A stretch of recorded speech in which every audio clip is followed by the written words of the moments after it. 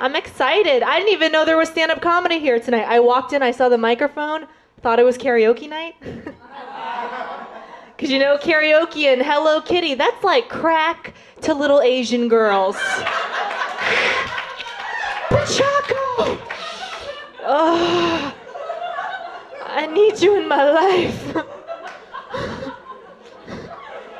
Excited. It's great, guys. I, I don't know if you guys can tell, I'm Asian.